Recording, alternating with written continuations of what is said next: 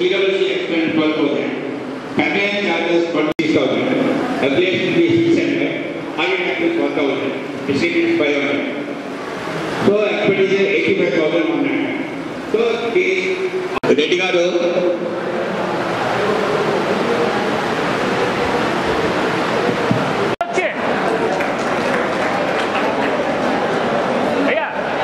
ఒకసారి చేయడానికి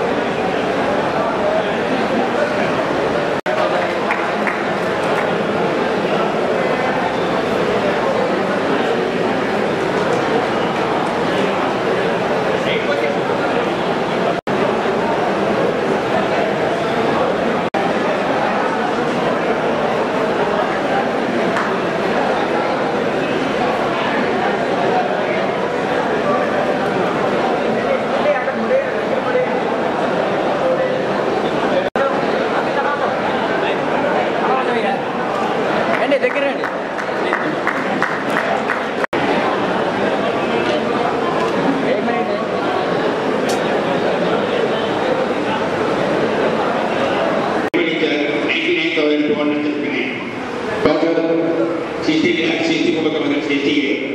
Current liability RDP and pakai ni attitude pakai and paper ni dia buat tu cakap total sistem dia sistem apa kata all sistem this is balance sheet balance sheet balik ya kita tu sistem ni